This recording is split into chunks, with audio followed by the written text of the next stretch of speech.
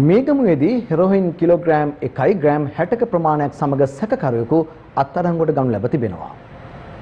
පොලිසිය සඳහන් කළේ මේගම කොට්ටාස අපරාධ විමර්ශනාංශයට ලද තොරතුරක් මත කළ මෙහෙමකදී සැකකරුවන් අත්අඩංගුවට ගත් බවයි.